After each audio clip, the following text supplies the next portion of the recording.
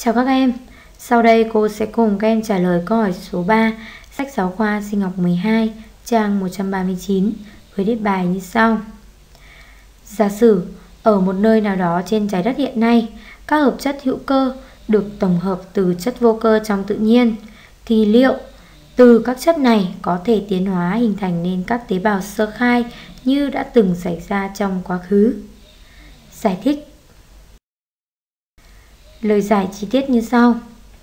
Sở dĩ các hợp chất hữu cơ trong thời kỳ nguyên thủy có thể tiến hóa thành các tế bào sơ khai được là do chúng có thể tồn tại lâu dài trong đại dương. Và từ đó chúng ta cũng có thể giải thích được cho câu hỏi vừa rồi, đó là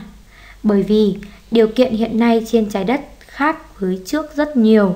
nên ngay cả khi các chất hữu cơ có thể được hình thành bằng con đường hóa học ở một nơi nào đó trên trái đất, thì những chất này cũng rất dễ bị oxy hóa hoặc bị các sinh vật khác phân giải. Do đó chúng không thể tiến hóa để có thể hình thành nên các tế bào sơ khai được. Như vậy, cô và các em đã vừa trả lời xong câu hỏi số 3 sách giáo khoa sinh học 12 trang 139.